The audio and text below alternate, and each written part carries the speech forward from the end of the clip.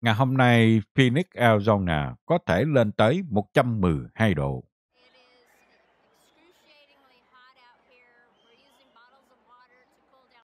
Chúng tôi hiện tại ở bên ngoài, ngồi ở đây rất là nóng. Chúng tôi dùng những cái chai nước như vậy để mà cho nó đỡ nóng. À, lấy chai nước rồi lấy nước rửa mặt cho mấy đứa nhỏ cho nó đỡ nóng. Chỗ này đó là ngay Trump Rally. Người ta à, đang đứng ở đây ủng hộ cho ông Trump. Ở đây là những người tới dự cái lễ mà của ông Trump thì người ta phải đợi ở ngoài rất là nóng. Có một số người đứng đợi ở bên ngoài, nóng quá chịu không nổi. Cứu hộ đã tới đây giúp đỡ để cho những người đó được mát.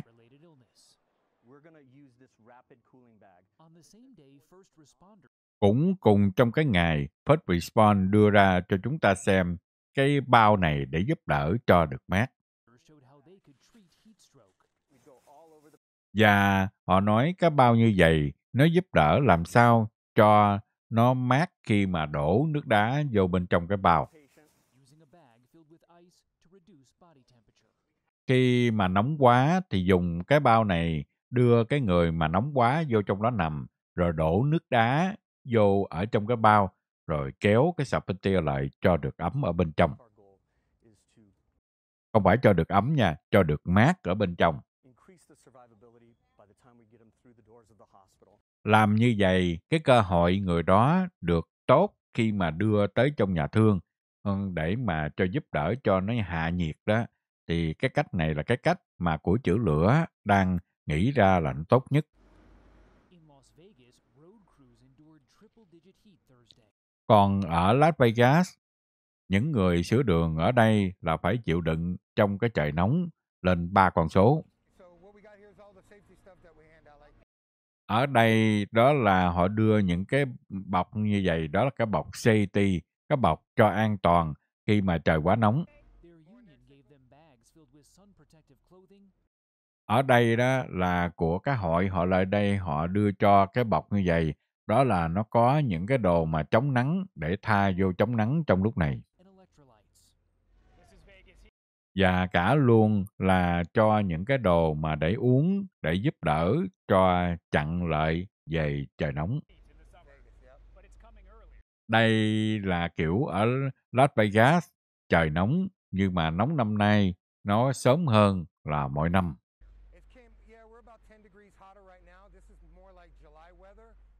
Ngay bây giờ thì nhiệt độ ở Vegas nó nóng hơn bình thường khoảng chừng 10 độ. Nó nóng giống như cái vào ngày tháng 7 thì lúc đó nó nóng thì bây giờ nó nóng giống y hệt như vậy đó.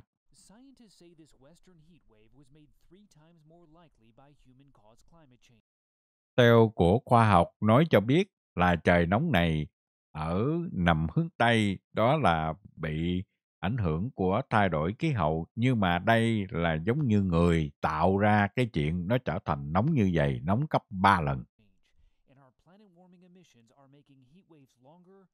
Rồi ngay bây giờ ừ, của trái đất của chúng ta có nhiều hãng xưởng cũng làm đủ hết cho nên cái trời nóng này nó sẽ nóng kéo lâu dài hơn và càng ngày nó càng nóng thêm nữa.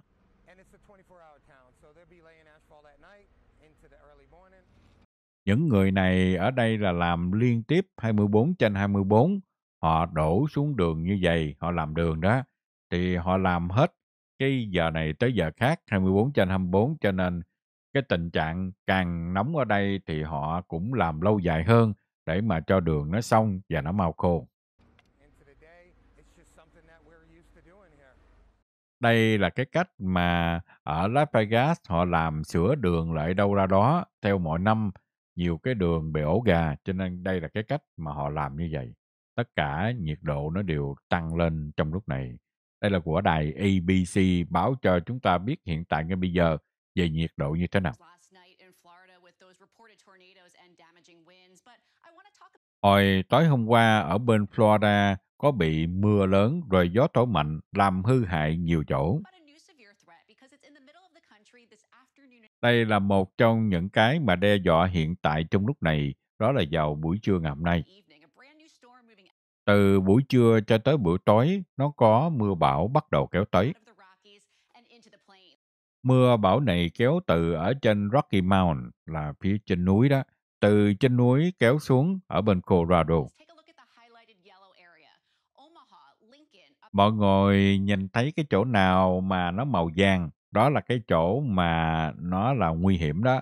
Đó là từ ờ, của ngay Lincoln cho tới nằm về hướng Bắc ở bên Nebraska.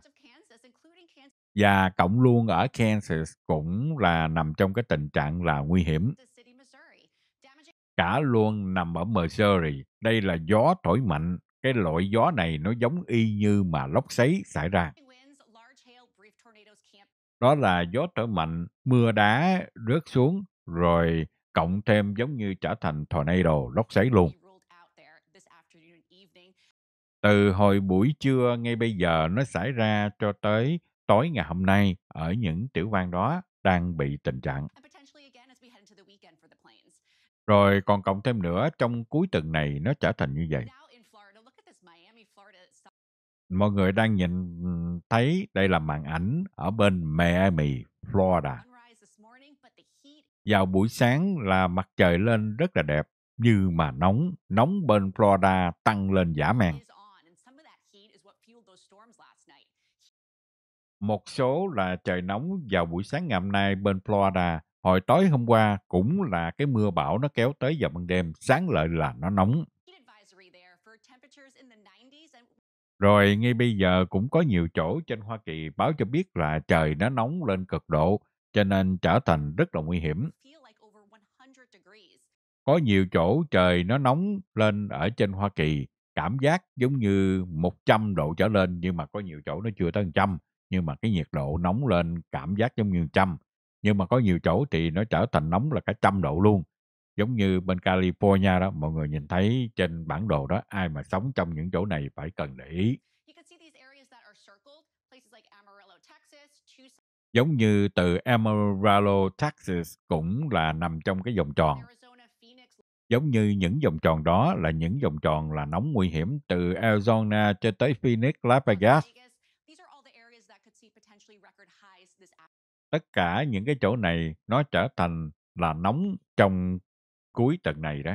Và cả luôn ngày hôm nay cũng là nóng. afternoon. Excessive heat warnings continue for more than 30 million Americans from Hơn 30 triệu người sống trên Hoa Kỳ được đưa ra cảnh báo cho biết là trời nóng đang xảy ra. Cho nên anh chị em nào sống ở trong những tiểu bang này tính nha. Còn đây là của đài báo thêm cho chúng ta biết tin ngày hôm nay.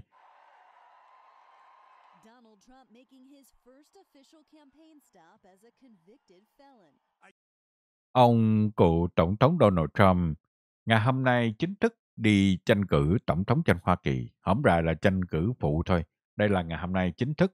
Nhưng mà đi tranh cử với cái danh đó là người bị tội.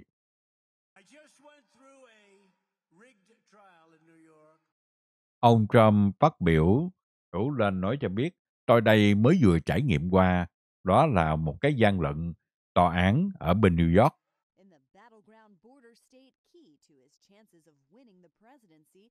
Đây là một trong những tiểu bang mà rất là quan trọng đối với ông Trump có thể thắng hay thua ở tranh cử ở trên Hoa Kỳ. Ông Trump đứng lên phát biểu nói về những người di cư. Ông Joe Biden muốn những người di cư xâm lược Hoa Kỳ. Tôi đây muốn đuổi mấy người đó khỏi Hoa Kỳ. Trong lúc này, theo của đài CBS, so giữa ông Joe Biden và ông Trump, nhìn thấy ông Trump là được người ta ủng hộ hơn là ông Joe Biden ở Arizona. Một trong những cái mà về bầu cử coi rất là quan trọng ở bên đây, đó là họ nói về những người di cư. Đó là những người mà bầu đó, họ lo về chuyện này. Giống như ông Marshall và cô Louise. Cặp vợ chồng này nói, chúng tôi đây là những người tị nạn vô trong Hoa Kỳ. Và nói về cái chuyện mà chúng tôi là những người người mà tị nạn vô trong Hoa Kỳ đâu có nghĩa là chúng tôi là người tội phạm. Và chúng tôi đây đâu có phải thích về cái chuyện mà ngay biên giới của Hoa Kỳ mở cửa cho người ta vô kiểu như vậy. Chúng tôi đây có gia đình. Chúng tôi sống ở trên America, ở trên Hoa Kỳ. Chúng tôi muốn ở biên giới của Hoa Kỳ được bảo vệ đâu ra đó. Tính ra mới trong tuần này, theo của tiểu bang nói cho biết, đó là sắp tới đây về cái chuyện mà tháng 11 nữa. Ngay bây giờ là chương trình của ông Joe Biden mới đưa ra, đó là cho những cảnh sát địa phương có thể bắt những người di cư bất hợp pháp vô trong Hoa Kỳ.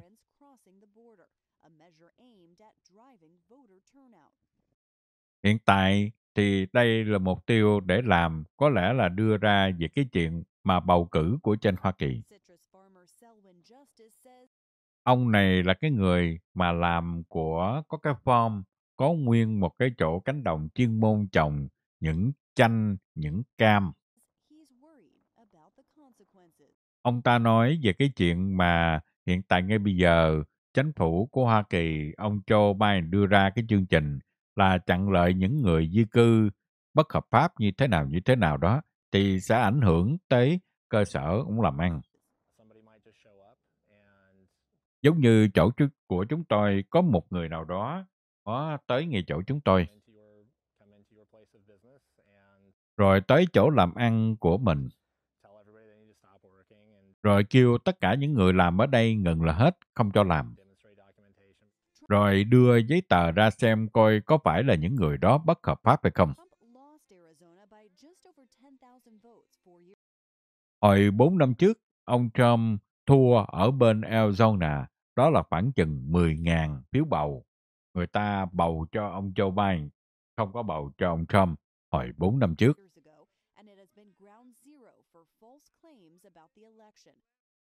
Và cũng cái chỗ mà ông Trump ổng đưa ra ổng nói về cái chuyện mà gian lận phiếu bầu ở bên Arizona. Đó là nói mà không có phải là sự thật. Mới vừa hồi tháng rồi, ông Trump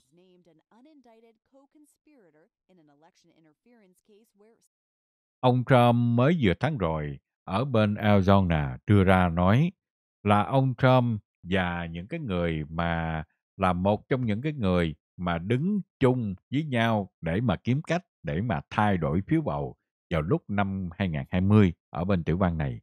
Đó là cộng luôn hai ông này là dính dám tới cái chuyện này. Những người đó là những người được kêu là những người đồng minh với ông Trump về cái chuyện mà đi chung làm gì làm gì làm gì đó thì sắp sửa lên tòa đó.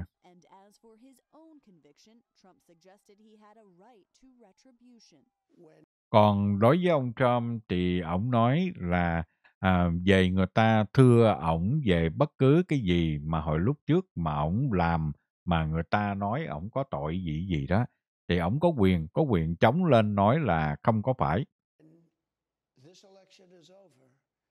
Và ông Trump cũng mới vừa được phỏng vấn của đài Fox News nói cho biết là khi mà tranh cử tổng thống trên Hoa Kỳ xong, những gì mà họ làm đối xử với tôi, tôi có quyền để mà tấn công lại những cái người nào thưa tôi thì tôi sẽ tấn công lại người đó. There we go, đó là của đài CBS báo cho chúng ta biết. Còn đây là của đài báo thêm cho chúng ta biết tin ngày hôm nay. Đây là của đài CBS báo cho biết. Về technology mới, về những gì của tương lai mới, từ của dùng AI, từ máy computer cho tới coi ôi những cái camera cho tới những cái loa giống như những gì ai vô trong tiệm mà làm những gì mà không có bình thường thì đều có người nhìn tới để mà để ý tới tất cả những chuyện mọi người làm.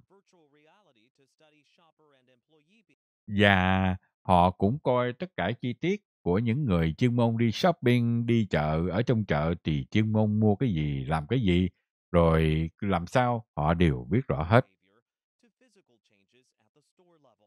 Và họ cũng đưa ra thay đổi nhiều cái của trong tiệm để làm sao cho được an toàn cho những đồ đạc của trong tiệm khỏi bị trộm cắp. Đây là một trong những cái phòng lab, những cái phòng thí nghiệm mà về đồ đạc. À, đây là giống như ở ngoài parking lot. Rồi đi vô chỗ này, đó là giống như một cái chợ. Giống như những cái đồ gì quý giá thì họ bỏ vô cái bọc như vậy, cái bao lại xung quanh, rồi có cái đồ hú ở bên ngoài.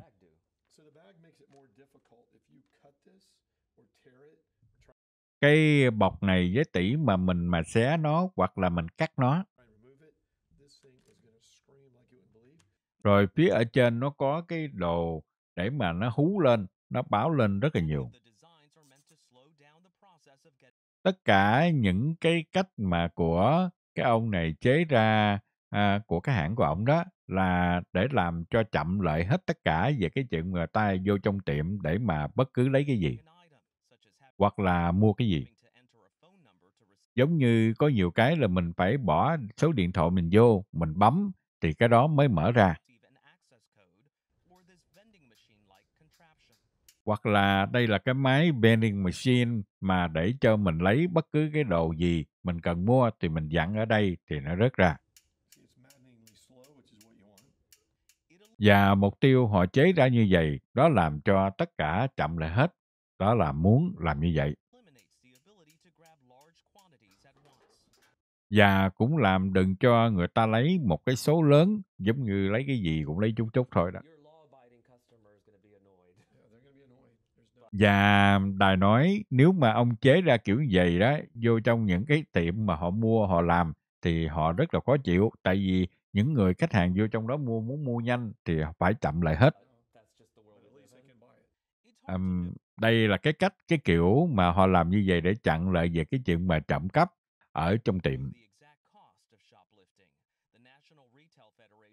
Theo được báo cho biết về cái chuyện trộm cắp mà của trên Hoa Kỳ mỗi năm tỷ nó tăng lên.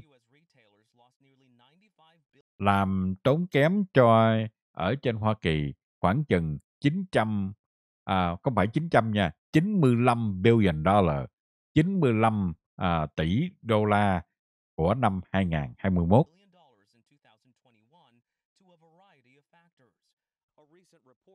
Đó là liên tiếp là trộm cắp xảy ra đó. Theo họ xem những cái tiểu bang trên Hoa Kỳ mà về trộm cắp nó tăng hay nó giảm. Giống như ở bên New York và Los Angeles thì nói như vậy. Đó là hai cái chỗ ở trên Hoa Kỳ là trộm cắp tăng nhiều nhất. Đó là bên Cali đó, ở Los Angeles và ở bên New York là một bên á, California, Los Angeles là lên 61% về trộm cắp mà ở trong mấy cái tiệm. Ở bên New York thì trộm cắp tăng lên là 64% ở trong những cái tiệm. Đó là họ so sánh với 24 thành phố khác nhau ở trên Hoa Kỳ. Ở bên uh, St. Paul, Minnesota là giảm xuống là 65%. Ở bên Florida cũng được giảm xuống là 78%. There we go, trộm cắp trên Hoa Kỳ có nhiều chỗ nó tăng lên đó. Còn đây là của đài báo thêm cho chúng ta biết tin ngày hôm nay. À, đây là của đài Hold on real fast. Đây là của đài ABC báo cho chúng ta biết. Đây là ngay biên giới giữa Arizona và Mexico. Đây là thành phố Arizona. 95% những người sống ở chỗ này đó là từ có cái gốc là từ bên Mễ qua. Trong lúc này đó là của đảng Cộng Hòa, họ đang kiếm cách để mà kéo những người vô. đó là họ muốn nói về cái chuyện những người di cư mà ờ, vô trong Hoa Kỳ mới đây nhất. Bà này, bà nói tôi đây là người Mỹ 100%. Và bà đây không có đồng ý về cái chuyện mà những người vô trong Hoa Kỳ bất hợp pháp.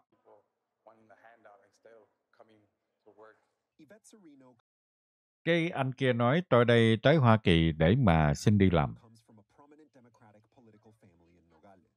Hiện tại giống như cô này, đây là nằm trong cái gia đình mà chính trị ủng hộ cho nằm trong đảng Cộng Hòa ở ngay biên giới.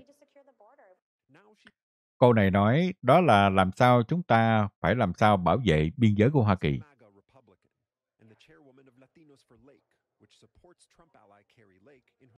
Cái cô đó là cái người ủng hộ cho bà Kerry Lake, là cũng cái người mà nằm trong đảng Cộng Hòa ở ngay cái thành phố chỗ này. Bà đó là cái người mà chạy đua để trở thành dân biểu của trên Hoa Kỳ, thì cái cô này cũng ủng hộ.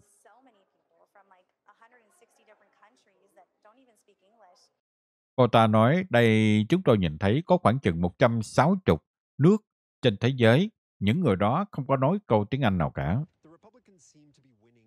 Đó là đi tới ngay chỗ biên giới trên Hoa Kỳ đó. Cái thành phố này là cái thành phố kế bên biên giới của Hoa Kỳ giữa Mỹ và Mỹ.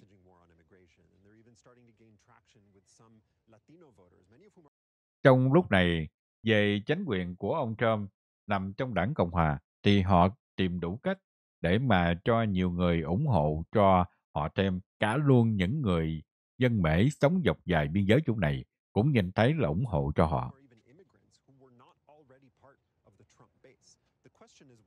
Và cũng có một số những người di cư mà những người đó chưa có phải là ủng hộ cho ông Trump, nhưng mà tới ngày hôm nay thì họ cũng muốn ủng hộ cho ông Trump.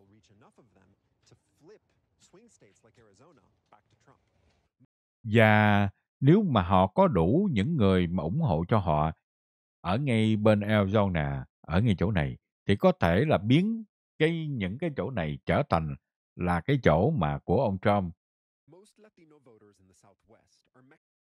Ở đây là những người dân Latino ồ, nằm về hướng Southwest của Hoa Kỳ, hướng Tây Nam của Hoa Kỳ. Những người này là họ đã sống ở ngay biên giới của Hoa Kỳ phía bên Mỹ đã từ lâu rồi. Hoặc là họ là những người mà tới trên Hoa Kỳ hồi lần rồi của những người di cư. Đó là vào 1980, những người di cư tới trên Hoa Kỳ rất là nhiều từ bên Mỹ. Có gần cả trăm ngàn người dân ở bên Arizona sống trong những chỗ như vậy. Và những cái hộ gia đình sống dọc ở biên giới ở ngay Arizona là nhà nào cũng có một hay hai người, đó là những người mà tới từ ở bên Mễ qua, đó là không có giấy tờ nữa. Họ lo sợ, họ lo sợ đó là ông Trump sẽ bắt những cái người mà không có giấy tờ đang sống ở ngay biên giới ở chỗ này đuổi trở về bên Mỹ. Và họ rất là lo ngại về chuyện này.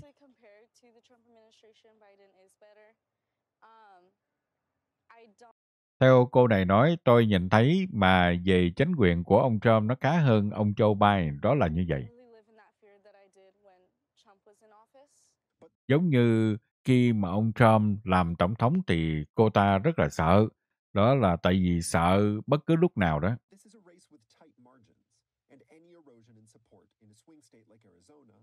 Đây là một trong những cái mà rất là khó giữa trong lúc này giống như tiểu bang Arizona.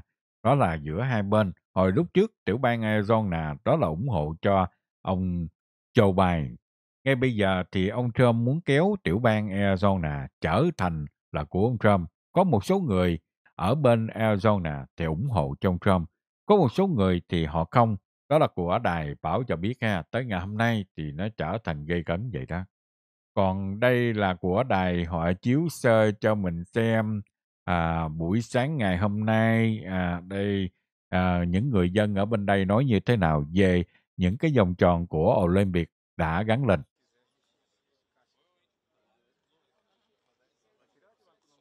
Mọi người đang xem đây là cái cảnh à, của bên Paris à, đã gắn lên à, những cái vòng tròn đại diện cho Olympic.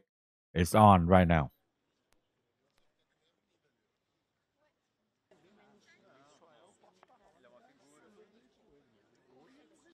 Và đây là tính ra còn khoảng gần 50 ngày nữa thôi là tới à, của thi Olympic của trên bên Paris và trên thế giới.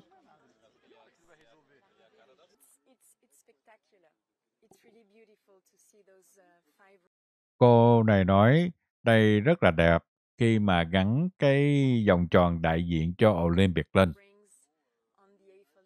À, gắn lên năm cái vòng tròn ở ngay cái Eiffel Tower.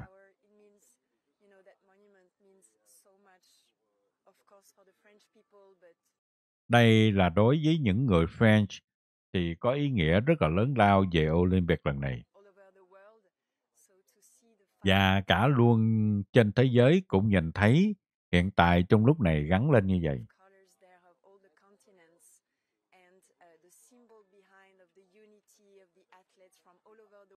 uh, Và đây cũng nhìn thấy hết tất cả những cái này của vòng quanh thế giới, nhìn thấy ừ, cái vòng tròn gắn lên tượng trưng cho Olympic đã tới.